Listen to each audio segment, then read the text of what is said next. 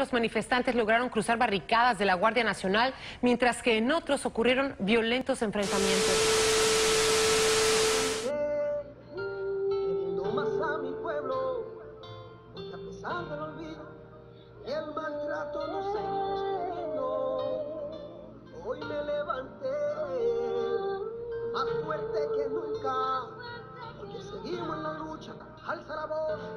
Así que escuchen. Llamado a la marcha, nuestro pueblo acude, se alteran las masas. Salen de sus casas, es resistencia, no importan las razas. Aunque nos provoquen y nos acusen de banda, los es justo